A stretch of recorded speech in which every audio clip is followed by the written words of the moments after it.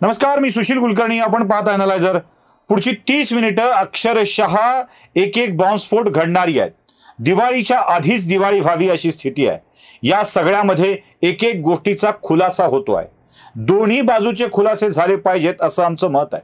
कुणावर अन्याय होऊ नये. आपल्याला सगळ्यांना ठाऊक आहे महाराष्ट्रामध्ये गाजत असलेल्या दोन केसेस एक एका महिलेचा होता आणि दुसरा सुशांत सिंग राजपूतचा.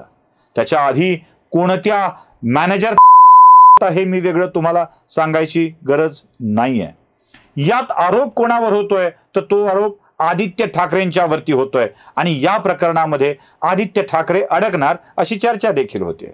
आदित्य ठाकरेंनी हायकोर्टामध्ये इंटरव्हेशन म्हणजे हस्तक्षेप याचिका केलेली आहे ज्याला आपण सगळ्यांनी कॅवेट कॅवेट म्हटलं कॅवेट नसतं ते हस्तक्षेप याचिका दाखल केलेली आहे. आदित्य ठाकरेंचं म्हणणं काय आहे? मी त्या दिवशी त्या प्रकरणात नव्हतो. त्याचा काहीही माझा संबंध नाही. वेगवेगळ्या चौकशी अथॉरिटींनी आदित्य ठाकरेंना क्लीन चिट दिली आहे असा दावा आदित्य ठाकरे करतायत. त्यासोबतच या प्रकरणाशी माझा दुरान्वयाने संबंध नाही. माझे राजकीय विरोधक याला या प्रकरणामध्ये मला गोवू इच्छित आहेत.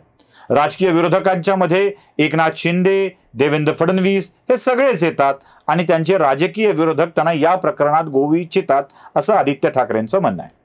आदित्य ठाकरेंची बाजू संपूर्ण महाराष्ट्रानं ऐकली आहे पण या प्रकरणामधला याचिका करता त्याचे वकील काय म्हणतायत हे सुद्धा तपासून बघणं आवश्यक आहे. अर्थात वकील आणि याचिकाकर्ता यांचं म्हणणं हे त्यांचं म्हणणं आहे. त्याचा अनालायझरनं स्वीकृती अथवा मान्यता असं काहीही अनालायझर देत नाहीये. फक्त याचिकाकर्त्याचं म्हणणं काय आहे हे आमचं दाखविण्याचा प्रयत्न आहे. याचिकेत काय म्हटलंय हे सांगण्याचा प्रयत्न आहे. म्हणूनच याचिकाकर्त्याचे वकील निलेश ओझा यांच्याशी आम्ही थेट संवाद साधलाय. बघूया निलेश ओझांशी संवाद साधून ते काय म्हणतायत ते. नमस्कार. आपल्यासोबत आता ॲडव्होकेट निलेश ओझा आहेत यांना आपण ओळखताच आणि त्यांची ओळख आता एव्हाना ते इतके व्हायरल झालेत इतके व्हायरल झालेत की त्यांच्याविषयीची वेगळी ओळख सांगण्याची गरज नाहीये. पण तरीही मी त्यांना मुद्दाम विचारणार आहे आपल्या सगळ्या प्रेक्षकांना कळावं म्हणून कारण आतापर्यंत हिंदी व्हिडिओजमध्ये हिंदी विषयामध्ये ते खूप वेळेला आलेले आहेत. मराठीमध्ये हा विषय अधिक तपशिलानं सांगितलेला गेलेला नाहीये. सर स्वागत आहे आपलं. सगळ्यात पहिल्यांदा सर मी आपल्याला एक प्रश्न विचारेन आणि तो प्रश्न असा आहे की आपण नेमके या सगळ्या प्रकरणामध्ये वकील म्हणून काम करत आहात ते कोणाचे? हा मी जे रशीद खान पठाण आहेत याच्यामध्ये जे याचिका करते आहेत रशीद खान पठाण म्हणजे ते व्यक्तिगत स्तरावर नाही आहेत. ती जी याचिका दाखल केली आहे supreme court and high court litigants association. म्हणजे पक्षकार संघटना आहे. सुप्रीम कोर्ट हायकोर्टात जेवढे पक्षकार आहेत त्यांची ते संघटना आहेत त्या लोकांची. त्याचे अध्यक्ष आहेत रशीद खान पठाण. त्यांनी याचिका दाखल केली आणि त्यांचा वकील मी आहे. सर ही रशीद खान पठाण यांची याचिका आता महाराष्ट्रात भारतात खूप चर्चेचा विषय झालेली ही याचिका नेमकी काय आहे? हा याचिका अशी आहे की दिशा सालियान हिचा सामूहिक बलात्कार आणि खून झाला. सुशांत सिंग राजपूत याचा खून झाला.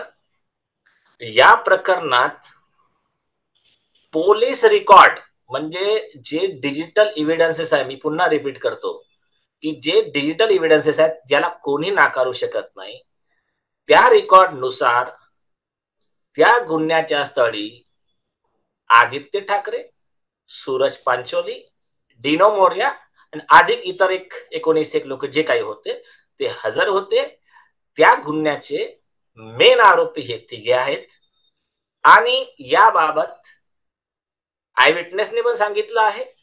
इतर पुरावे पण उपलब्ध आहे. आणि हा गुन्हा घडल्यानंतर तो गुन्हा म्हणजे दडपून टाकण्यासाठी तत्कालीन मुख्यमंत्री उद्धव ठाकरे मुख्य आरोपी आदित्य ठाकरे आणि इतर लोकांनी म्हणजे अनिल देशमुख पण आले त्याच्यामध्ये आणि काही पोलीस अधिकारी पण आले जे काही आरोपी आहेत त्याच्यात. या लोकांनी असे काही गुन्हे केले आहेत जे प्रथम दर्शनी दिसतात पहिली गोष्ट. गुन्हा म्हणजे ती तिचा मृत्यू झाला दिशा सालियांचा तो झाला आठ जून दोन हजार वीस ला तर तिच्या डेड बॉडीचं पोस्टमॉर्टमसाठी तो जो मृतदेह आहे तो अकरा तारखेला पाठवला. म्हणजे ते बलात्कार केल्यानंतरचे जे काही पुरावे असतात ते नष्ट व्हायला पाहिजे. तो एक त्याच्या मागचा हेतू असतो. अठ्ठेचाळीस तासाच्या नंतर पाठवलं जातं. हे हे केव्हा केलं जातं? तेव्हा म्हणजे असे मुख्यमंत्री असे असे म्हणजे मोठे रसूकदार लोक यांच्या घरातले लोक कोणी आरोपी असतील तर. हा एक पार्ट आहे. दुसरी गोष्ट त्या बिल्डिंगचे नेमके त्याच दिवशीचे सीसीटीव्ही डिलीट करण्यात आले. आणि असे अनेक पुरावे आहेत जे ऑन रेकॉर्ड आहेत. हे सगळे पुरावे आणि स्वतः महाराष्ट्र शासनाने म्हणजे सरकार बदलल्यावर म्हणजे जेव्हा ते मुख्यमंत्री होते तेव्हा त्यांनी त्यांचं जे काही पदाचा दुरुपयोग करायचा केला सरकार बदललं. शिंदेशाही आली म्हणजे शिंदे साहेबांचं जेव्हा सरकार आलं आणि फडणवीस साहेब जेव्हा गृहमंत्री झाले त्यावेळेस सगळ्या महिला आमदार ज्या काही होत्या सदन म्हणजे यांनी हा विषय उठवला विधानसभेत. आणि भारत गोगवली जी आहेत नितीश राणे असे भरपूर लोकांनी विषय उठवला की एवढे सगळे हे पुरावे असताना त्याच्यामध्ये कारवाई का होत नाहीये? तेव्हा एक विशेष तपास पथक स्पेशल इन्व्हेस्टिगेशन टीम ही डिसेंबर दोन हजार बावीस रोजी बनवण्यात आली. आणि त्यांच्याकडे तपास देण्यात आला. आता तो तपास देऊन सुद्धा दहा महिने झालेले आहे.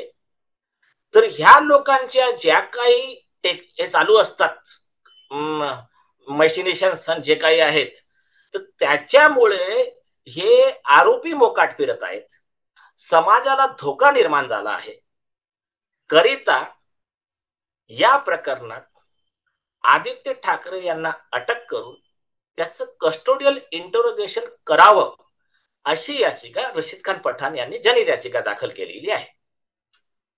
तर या सगळ्या प्रकारामध्ये अजून काही महत्त्वाचे मुद्दे आहेत ज्यात तुम्ही उल्लेख करताय त्याच्यामध्ये आदित्य ठाकरे आरोपी म्हणताय उद्धव ठाकरेंना पण याच्यामध्ये तुम्ही इन्व्हॉल्व्ह करताय अनिल देशमुखांना पण इन्व्हॉल्व्ह करताय सचिन वाजेना इन्व्हॉल्व्ह करताय. हे सगळं इन्व्हॉल्व्ह करणे नेमकं कसं आहे? म्हणजे तुमचा त्याच्या मागचा हेतू आणि त्याच्यातल्या हे काय आहे? पद्धत काय आहे? तुम्ही या सगळ्या मोठ्या लोकांना इन्व्हॉल्व्ह करताय.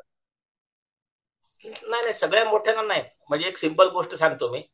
आणि चांगला चांगला प्रश्न विचारला तुम्ही. म्हणजे कॉमन मॅनच्या हिशोबाने तुम्ही निष्पक्ष प्रश्न विचारला. तुम्ही ना माझ्या बाजूने आहात ना त्यांच्या बाजूने आहात तुम्ही निष्पक्ष प्रश्न विचार यातली माहिती लोकांना कळालीच पाहिजे. येस येस तर आता मी आपल्या संपूर्ण महाराष्ट्राच्या जनतेला उद्देशून नम्रपणे सांगू इच्छितो. आपला उद्देश काय असला पाहिजे? नेहमी don't see who is right see what is right कोण खरं आहे हे नाही बघायचं काय खरं आहे हे बघायचं. आता मी जर म्हटलं की या गुन्ह्यामध्ये दुसऱ्या एखाद्या स्टेटचा चीफ मिनिस्टर आरोपी आहे तर तो आरोपी होईल का? नाही होईल. उलटा कायद्यात अशी तरतूद आहे खोटे आरोप लावले म्हणून खोटे आरोप लावला लावणाऱ्यावर आयपीसी दोनशे अकरा नुसार कारवाई होते. एक कायदा खूप सिंपल आहे. तर एवढे म्हणजे आमच्याकडे जे उपलब्ध पुरावे आहेत ते संबंधित या देशाचे या राज्याचे जे काही इमानदार अधिकारी ते सीबीआयचे असो महाराष्ट्र पोलिसाचे असो एनसीबीचे असो आयबीचे असो रॉचे असो त्यांनी जी आम्हाला ऑथेंटिक इन्फॉर्मेशन दिलेली आहे जी आम्ही स्वतः व्हेरीफाय केलेली आहे त्याच्या आधारावर आम्ही हे आरोप लावलेले आहेत. आणि आत्ताही मी सांगून म्हणजे याच्या आधी पण नोटीस पाठवली आहे रशीद खान पठाणने की तुम्ही आमची बदनामी करतायत की हे आरोप आमचे तुम्ही जे म्हटलं की आरोप जे आहे आम्ही सरकारच्या इशाऱ्यावर आम्ही काम करतोय पैसे कमवण्यासाठी करतोय. तर ते आरोप तुमचे बिनबुडाचे आमचे आरोप सगळे पुराव्यानिशी आहे. तुम्ही आमची बदनामी केली म्हणून एकोणीस हजार सातशे पन्नास कोटी रुपयाची नुकसान भरपाईची लिगल नोटीस आदित्य ठाकरेंना सर्व करण्यात आली आहे. आजपर्यंत उत्तर दिलेलं नाही आहे. तर आता मी येतो की मोठे मोठे जे लोकांचे तुम्ही नावं म्हणतात तर आमच्यासाठी तर कायद्यापुढे मोठा लहान कोणीच नाही. कायद्यात काम करतोय तो एक चपरासी जरी आहे तरी त्याला आपला सॅल्यूट आहे. कारण तो नियमात काम करतोय. कायद्याच्या बाहेर जर गेला तर या देशाचं संविधान या देशाचे कायदे एवढे सुंदर आहेत. कायद्याच्या बाहेर जर गेला तर तो मुख्यमंत्री असो की या देशाचे मुख्य न्यायाधीश चीफ जस्टिस ऑफ इंडिया असो सगळ्यांना शिक्षेची तरतूद आहे घटनेमध्ये. म्हणजे इव्हन चीफ जस्टिस ऑफ इंडियाला आयपीसी दोनशे एकोणीस चारशे नऊ मध्ये शिक्षेची तरतूद आहे. तर आता ज्या ज्या लोकांच्या विरोधात आरोप लावलेले आहेत मी ते आरोप का लावले आणि काय पुरावे आहेत याचं मी शॉर्टमध्ये सांगतो. म्हणजे जनतेलाच निर्णय घेऊ द्या की ते आरोप खरे आहेत की खोटे आहेत. की राजकीय हेतूने प्रेरित आहेत की एका स्त्रीची अब्रू वाचवण्यासाठी किंवा दुसरे जे या राज्यातील दुसऱ्या ज्या स्त्रिया आहेत दुसरे जे लहान मुलं आहेत त्यांचं भविष्य वाचवण्यासाठी काम करण्यात येते तुम्हीच ठरवा. पहिला मुद्दा. आता बघा सगळ्यात जे पहिला आरोप लागलाय तो आदित्य ठाकरेंवर लागलाय. आदित्य ठाकरेंवर आरोप आहे की तुम्ही त्या दिवशी तिथे होता तुम्ही गुन्हा केला आहे तुम्ही या रेपचे आणि मर्डरचे तुम्ही आरोपी आहात. हा पहिला जेव्हा एसआयटी कन्स्टिट्यूट झाली तेव्हा सगळ्या महाराष्ट्राला माहीत आहे की एसआयटीच्या नंतर पत्रकार लोक गेले आदित्य ठाकरे यांना भेटायला. की आता तुमच्या ऑगस्टमध्ये एसआयटी कन्स्टिट्यूट झालेली आहे दिशा साल यांच्या प्रकरणात. तर तुमचं काय म्हणणं आहे? त्यांनी काय उत्तर दिलं? बाकी तर थोडा एबीपी माझ्यावर तर क्लिअर त्यांचा तो इंटरव्ह्यू आहे. सगळीकडे आहे पण त्याच्यात तर विशेष आणि सगळ्या वर्तमानपत्रात मेन स्ट्रीममध्ये सगळीकडे छापून आलं. ज्या दिवशी तिचा मृत्यू झाला त्या दिवशी म्हणजे आठ जून रोजी मी हॉस्पिटलला होतो. माझे आजोबा म्हणजे आईचे वडील श्री पाटणकर हे वारले होते. आणि त्यांना तो पत्रकारांना विचारतायत ते. की तुम्ही पण होते ना तिथे? हा त्यांचा तो एक डिफेन्स झाला. हा डिफेन्स खोटा सिद्ध करणारे दोन मेन पुरावे. एक त्यांचे मोबाईल टॉवर लोकेशन त्याला तर कोणीच बदलू शकत नाही. म्हणजे मी जरी ट्राय केला कोणी कोण मी तर म्हणतो मुख्यमंत्र्यांनी जरी ट्राय केला त्यांचं त्यांचं पटत नाही तो कोणी बदलू नाही शकत. मोबाईल टॉवर लोकेशन आणि ते एका एजन्सीकडे नाही आहेत. Mumbai police CBI Bihar police आणखी दोन चार डिपार्टमेंट आहेत. काही मी गोष्टी सांगत नाही काही मला अधिकाऱ्यांचे नाव मला डिस्क्लोज नाही करायचे. सगळ्यांकडे अवेलेबल आहे ते. रिझर्व्ह करून ठेवलेले आहे सीडीआर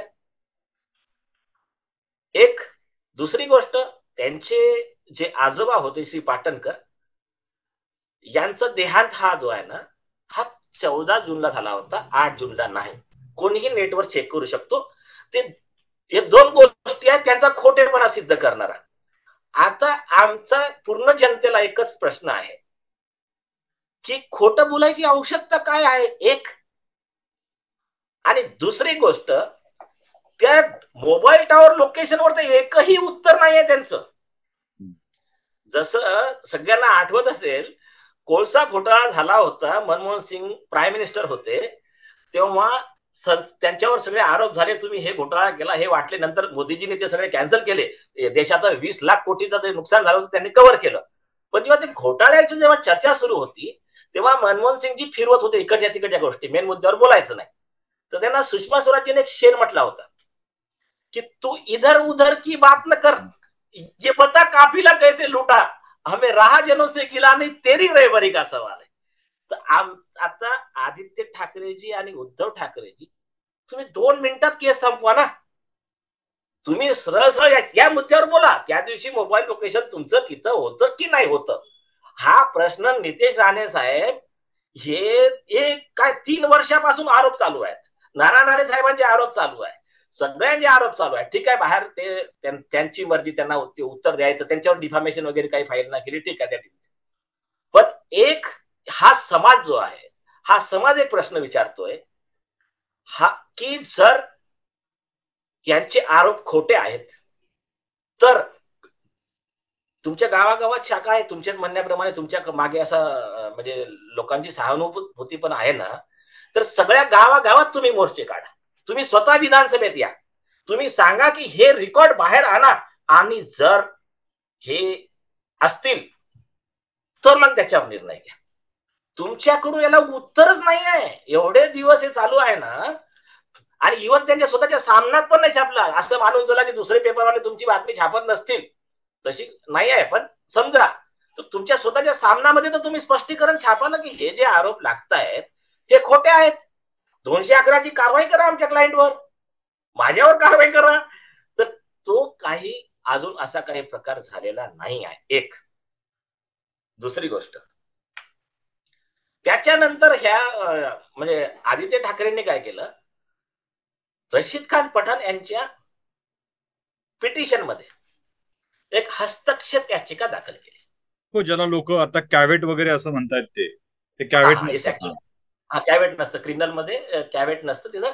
आणि कॅवेट केव्हा असतं की खालच्या कोर्टाने ऑर्डर दिली त्याला चॅलेंज केलं तर तेव्हा कॅवेट असतं.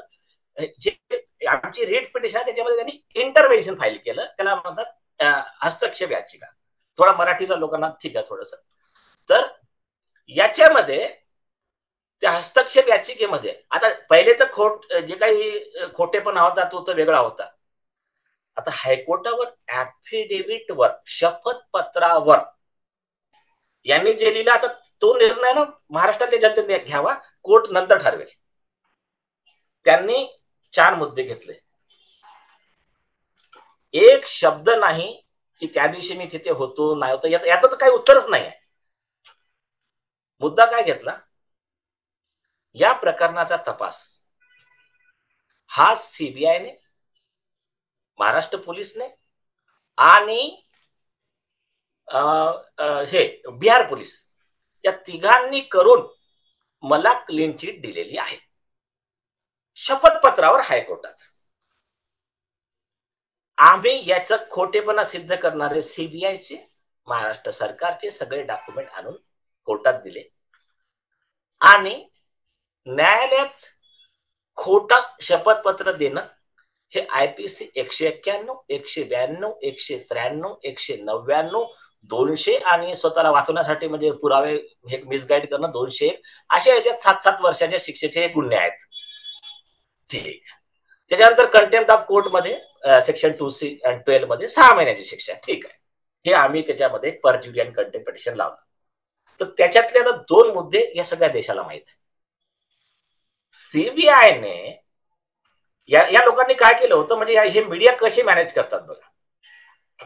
पैसे देऊन जे बातम्या आणायच्या चालवून वगैरे यांनी एक प्रेस नोट काढून सगळं मीडिया मॅनेज करून म्हणजे सीबीआयच्या अधिकाऱ्याने सांगितलं. की दिशा साल्यान ही पायाचा तोल घसरून पडली होती तिची आत्महत्या पण नाही आणि हत्या पण नाही. इट वॉज ऍक्सिडेंट हा इट वॉज अन ऍक्सिडेंट अपघात होता. अशा बातम्या तेवीस नोव्हेंबर दोन हजार बावीस ला यांनी सगळ्या पेपरमध्ये प्रकाशित केल्या.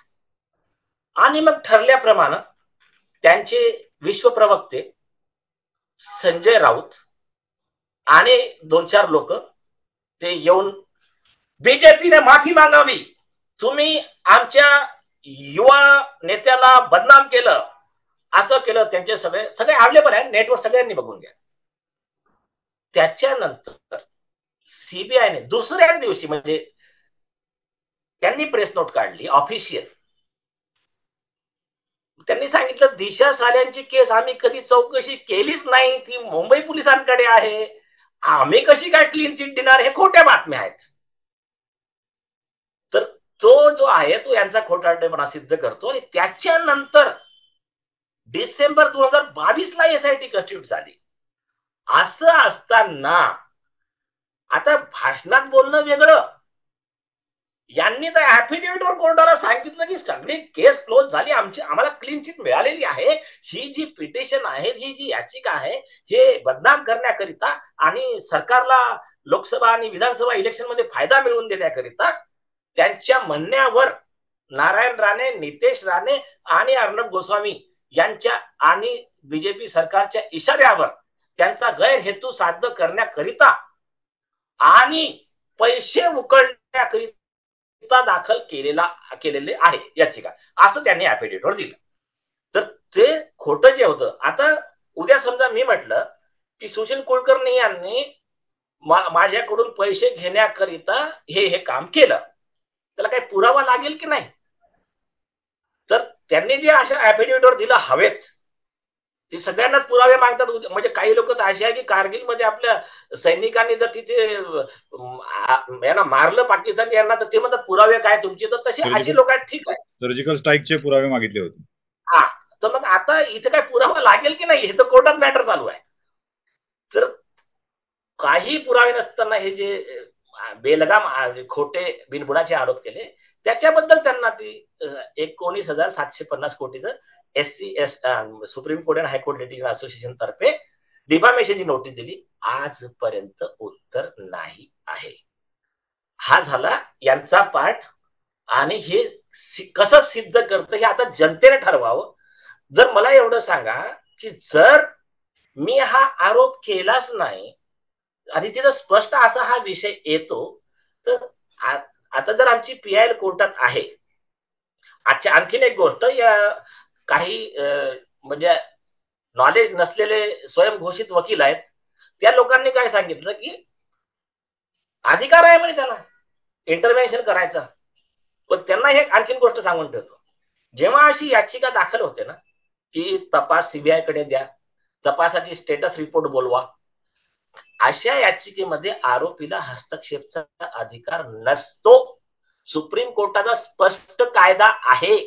आणि जे काही ते म्हणजे त्यांचे अंधभक्त असतील की ज्या असे नॅरेटिव्ह पसरवत आहेत त्यांनी ना काही दूर जायची आवश्यकता नाही. त्यांनी फक्त आता लेटेस्टचं जजमेंट आहे.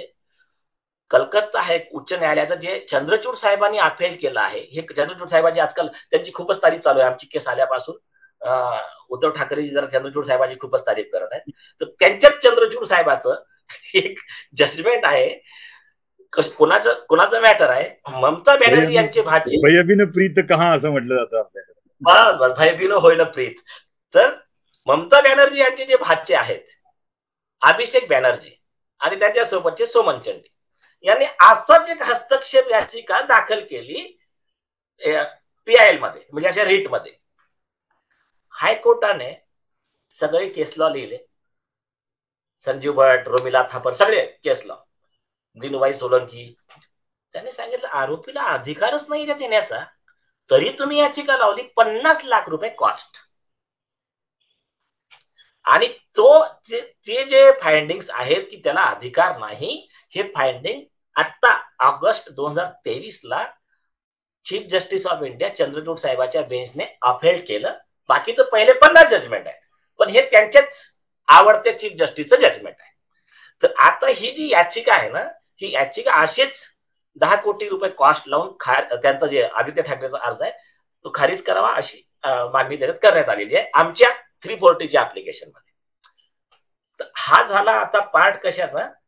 की तो दिशा साऱ्यांचा विषय झाला सुशांत सिंग राजपूतचा विषय झाला.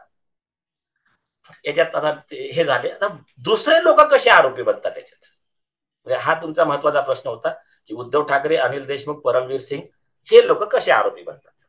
आणि आता मला वाटते जनतेला कळालं असेल की काय पुरावे आणि काय गोष्टी आहे तर बाकी आता जनता खुद खुद जज आहे जनता समजदार आहे उनके ऊपर ही छोड देते हम. आणि बघा माझं जे मी शिकलेलो आहे म्हणजे माझं आयुष्याचं जे मार्गदर्शन जे आहे मेन जे अन्यायाविरुद्ध लढण्याचं ते माझं मार्गदर्शक मेन जे आहेत माझ्या आयुष्याचे ते शिवाजी महाराज आहेत. आणि दुसरे आहेत चाणक्य. आता एक विचार करा शिवाजी महाराजांच्या तीनशे वर्षानंतर पण आज आज सुद्धा त्यांचा रिस्पेक्ट कमी नाही होत आहे. रिस्पेक्ट वाढत चाललाय. अशा पर्सनॅलिटी खूप कमी येतात. त्याचं सगळ्यात मोठं रिझन काय माहीत आहे का? त्याचं सगळ्यात मोठं रिझन हे आहे त्यांचं जे म्हणणं होतं जे मेन की जो स्त्रियांच्या आब्रूचा शत्रू तो माझा शत्रू. त्यांचेच स्वतःचे जे नातेवाईक कोणीतरी होते त्यांचे त्यांनी चौरंगाकर हातपाय कापून टाकले होते त्याचे.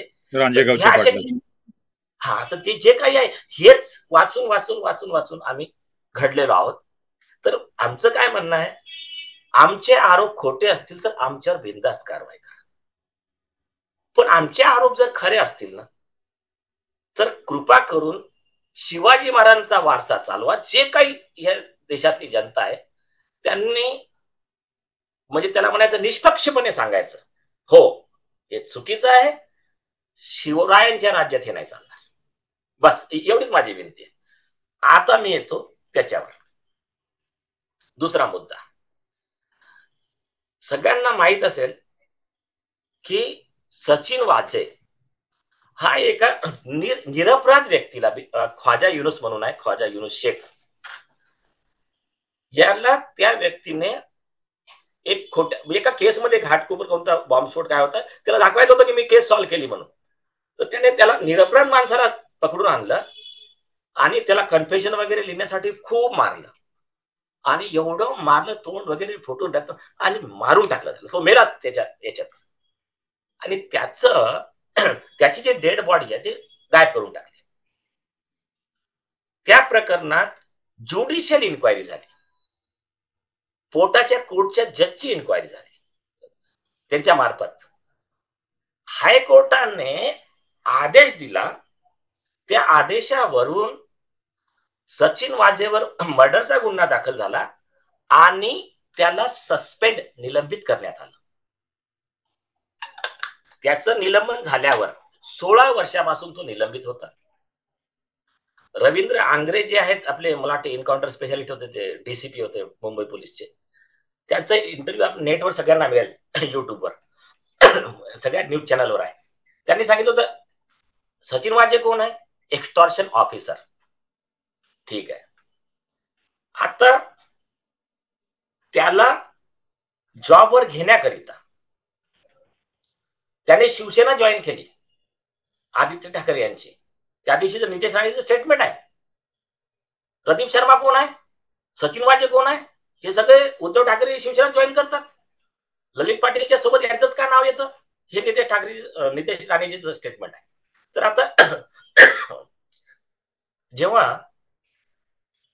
देवेंद्र फडणवीस जे मुख्यमंत्री होते म्हणजे आमच्या या केसमध्ये आमचे विटनेस स्वतः देवेंद्र फडणवीस आहे तर ते जेव्हा मुख्यमंत्री होते तेव्हा उद्धव ठाकरेंनी त्यांना फोन केला की तुम्ही सचिन वाझेला जॉबमध्ये परत घ्या. देवेंद्र फडणवीस यांनी स्पष्ट शब्दात सांगितलं मी पूर्ण चौकशी केली आहे. उच्च न्यायालयाच्या आदेशावर तो निलंबित आहे. त्याला आम्ही जॉबमध्ये घेऊ शकत नाही. फक्त हायकोर्टच आदेश देऊ शकतो. त्याला जॉबवर घेतलं तर तो गैरकायदेशीरपणा आणि कंटेम्प्ट ऑफ कोर्ट होतो.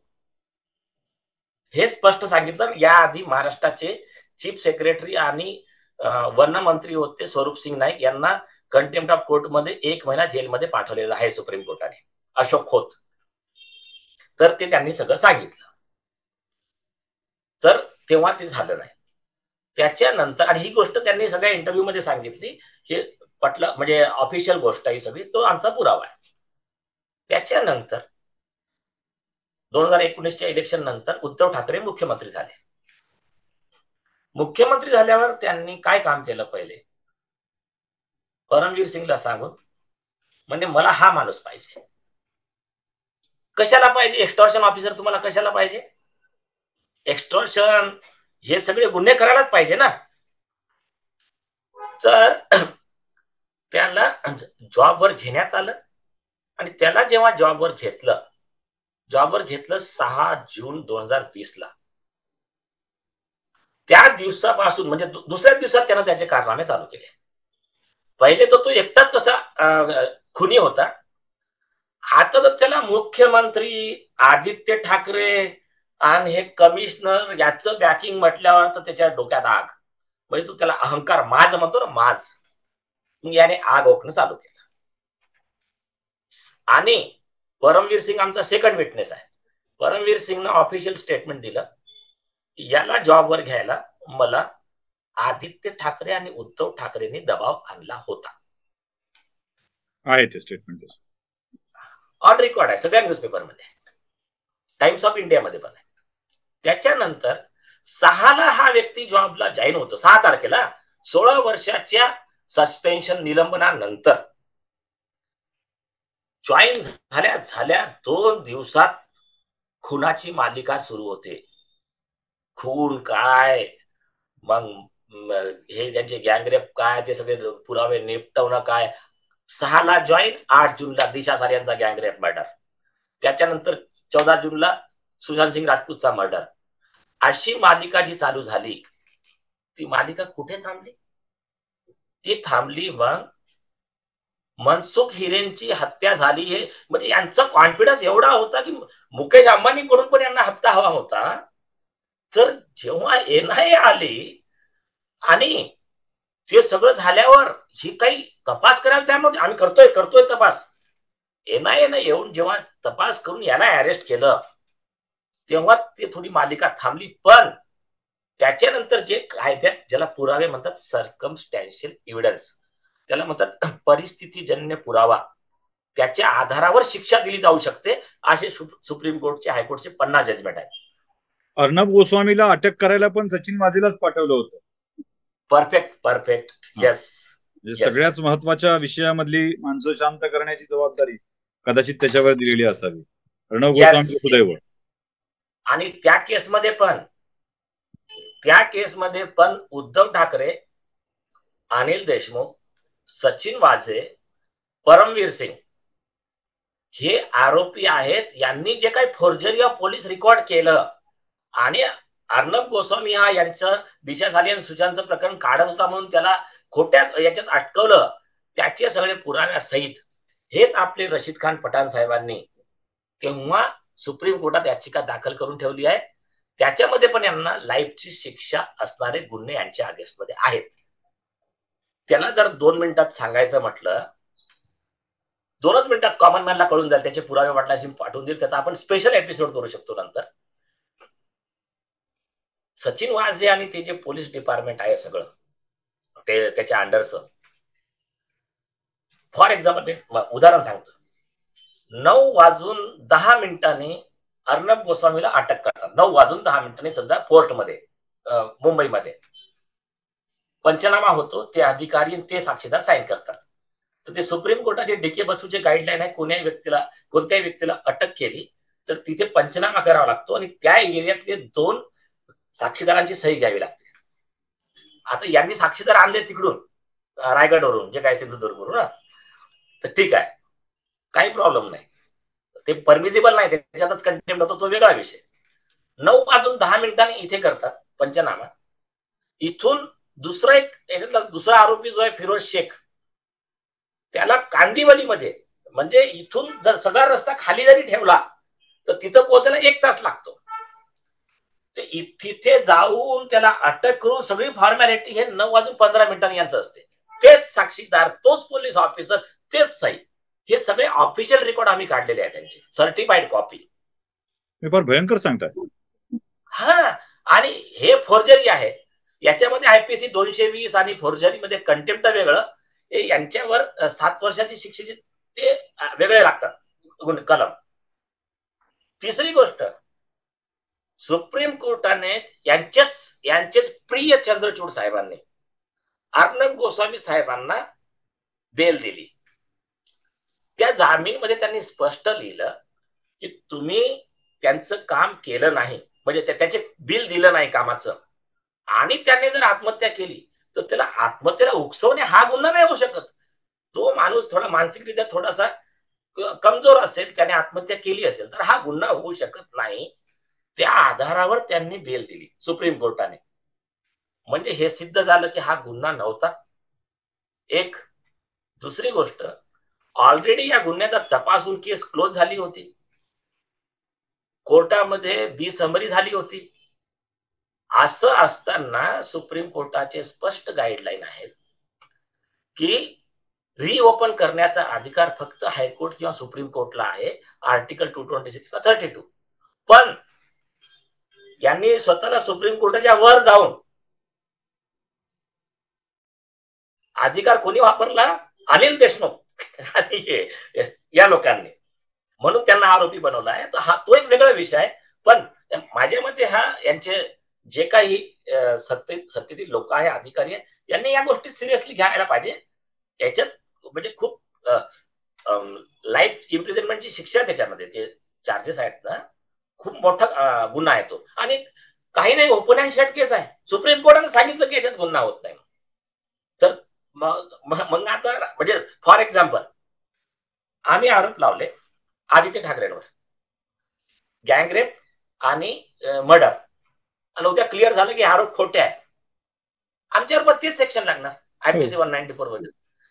तर मग तोच लॉ त्यांना लागू आहे. अर्णब गोस्वामीच्या अगेन्स्टचा जो काही आहे तो लागू आहे आता. अनिल देशमुख परमवीर सिंग सचिन वाजेन सगळे. आता येतो मी याच्यावर की मग मनसुख हिरेनमध्ये जेव्हा यांना सचिन वाजेला अटक केली.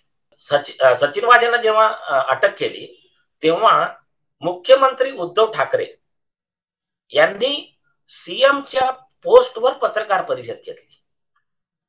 आणि डिफेंड केलं जो व्यक्ती प्रूफ सहित अरेस्ट झाला आहे. त्याला डिफेंड केलं. काय म्हणून? की ओस तो का ओसामा बेन लादेन आहे का? आणि म्हणजे तो मोठ्या मोठ्या उद्योजकांना धमक्यासाठी त्यांच्या घरासमोर विस्फोटक ठेवतो खंडणी वसुलीसाठी.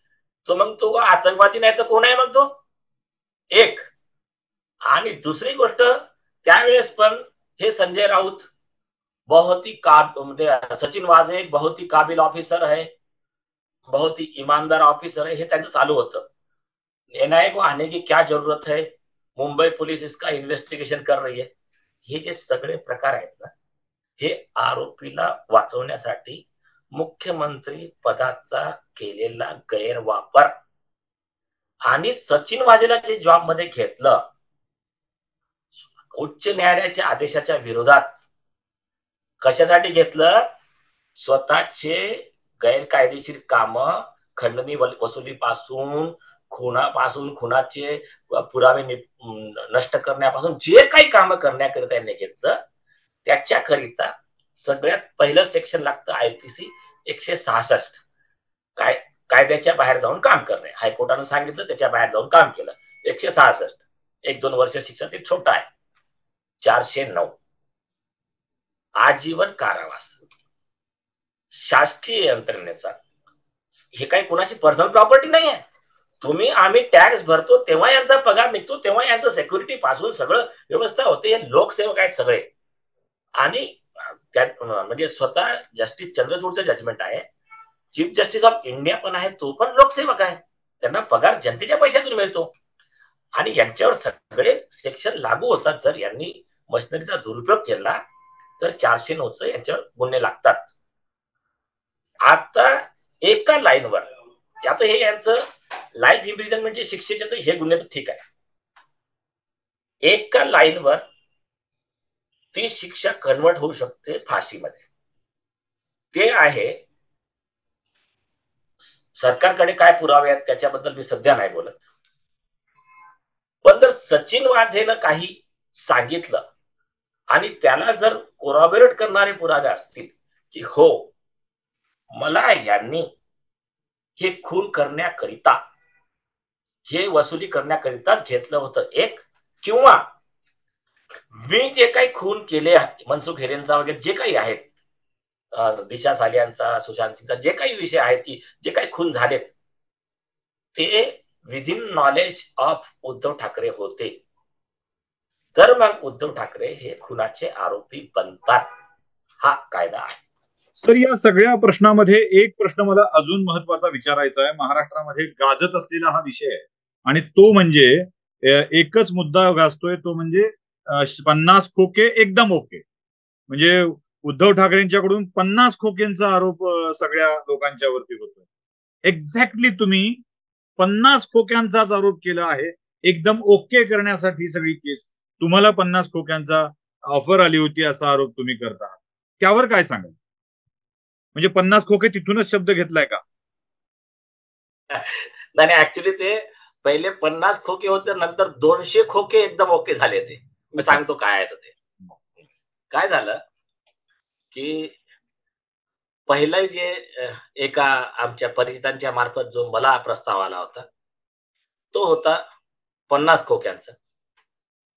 तो त्याच्याबद्दल रितसर तक्रार माननीय राष्ट्रपतींकडे दिली. त्यांनी फॉरवर्ड केली. त्याचे इन्क्वायरी ऑफिसर अपॉइंट झाले. महाराष्ट्राचे डेप्टी सेक्रेटरी त्याच्यानंतर आता आपले जे रशीद खान पठाण आहे पिटिशनर यांना फोन आला. म्हणजे त्यांना वाटलं हा काही ठीक आहे हा काही कामाचा नाही जास्त हुशार आहे करतो जाऊ द्या जे काही त्यांना वाटलं असेल. त्यांना वाटलं असेल की तुला आता रशीद खान पठाणला आपण भेटू. तर असे एक गोपाळ शेट्टे म्हणून आहेत. त्यांचा- शेट्टी नाही. हा शेट्टी नाही. काही लोकांना वाटतं की ते बीजेपीचे खासदार ते नाही आहे. तर ते त्यांनी फोन केला रशीद भाईंना की सामनाचे संपादक कोणी त्यांचे मित्र त्यांच्या मार्फत काय बोलणं झालं जे काय झालं. तर यांना सांगितलं की देखो 200 करोड़ तक का हो सकता है आपको. तो आप ये अगर केस छोड़ रहे होंगे इसको इस- मतलब सेटलमेंट के लिए तैयार होंगे तो आप बोलिए फिर आगे बात करते हैं. तर मग रशीद भाई ना म्हणजे जे उत्तर दिलं, म्हणजे खूप सुंदर उत्तर दिलं त्यांनी. त्यांनी सांगितलं की 200 करोड़ क्यों लूँगा मैं? मैं ज़्यादा लूँगा.